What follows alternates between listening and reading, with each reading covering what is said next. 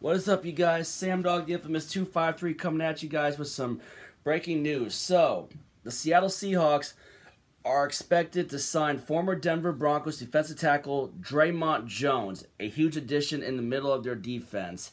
A game wrecking player who had 47 tackles and 6.5 sacks, 9 tackles for loss, and 10 quarterback hits in 13 games to the Broncos last season.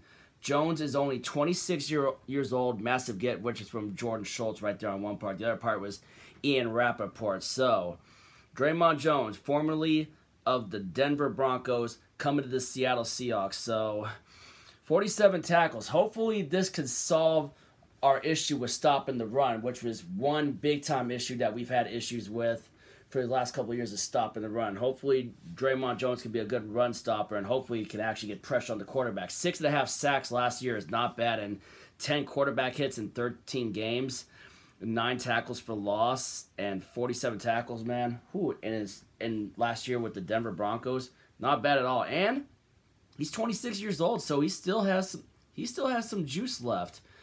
Played his college ball at Ohio State. Born January 5th, 1997 in Cleveland, Ohio. He's 6 foot 3 and 281 pounds and was drafted in 2019 by the Denver Broncos. And now it looks like Dre'Mont Jones is coming to the Seattle Seahawks. So addressing the trenches, just like I said, I had a feeling if we were going to make a move, it has to be on the trenches. And we're going on the pass rush part of it or the uh, run stopping part for building in the trenches, just like I was hoping for. So Dre'Mont Jones not a bad season last year. He's going to have to repeat that.